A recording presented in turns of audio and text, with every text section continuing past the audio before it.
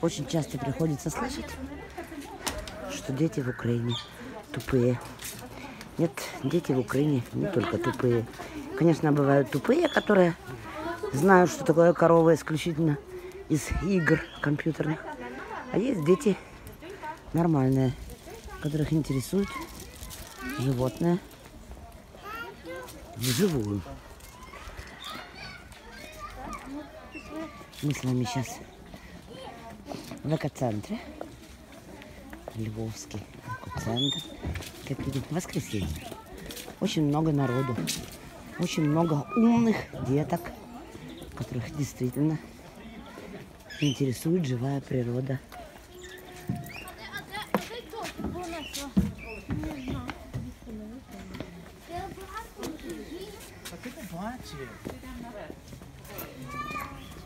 Очень много родителей с детьми очень много деток, которым действительно интересно. Интересно животное, интересна природа. Вот. Ну, сейчас я поднимусь наверх, потому что когда-то я уже снимала здесь, но только в нижней части. Сейчас поднимусь наверх, покажу вам, что там.